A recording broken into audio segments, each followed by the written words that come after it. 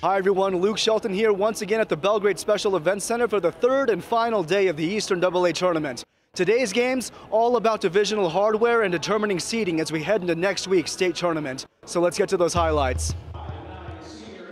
The Eastern AA Girls Consolation Final. Great Falls CMR taking on Billings Senior. Well, fans definitely got their money's worth out of this game. Final seconds of the fourth quarter, Senior trailing by three, and Lauren Cummings is going to hit the clutch three-pointer to tie the game and send us to one of four overtimes. Yes, you heard that right. So let's jump to the second OT. Alex Madsen buries the three-pointer, and that puts CMR up by three. But Senior will force a seventh and then an eighth overtime. And here's Cummings hitting a driving layup to put Senior up by three. CMR's last gasp heave just off, and the Broncs will hold on and win 64 to 61.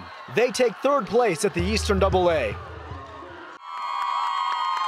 Final championship of the day, Billings Skyview taking on top-seeded Billings West for the Eastern AA crown. Third quarter, Brianna Williams posts up, clears a lane, and drops it in to make it a six-point lead for Skyview. Now Caitlin Grossman sends up the floater and draws the foul to trim the Falcons' lead. But this night will belong to Skyview. Williams snags the steal, sends it to MG Spotted Bear, and she's going to get the fast break points to fall and draw the foul.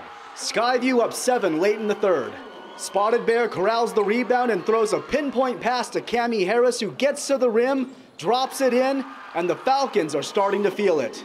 Here, Bella Murphy absorbs the contact and gets the shot to fall. But the Falcons just getting it done down the stretch. Williams working the arc, and she'll pull up and drain the three-pointer to make it a double-digit game. Skyview goes on to upend number one Billings West 49 to 33, and for the first time ever, the Falcons are Eastern AA champions. They now head to state as the top seed, where with surging confidence, they'll be looking to bring home their first ever state title.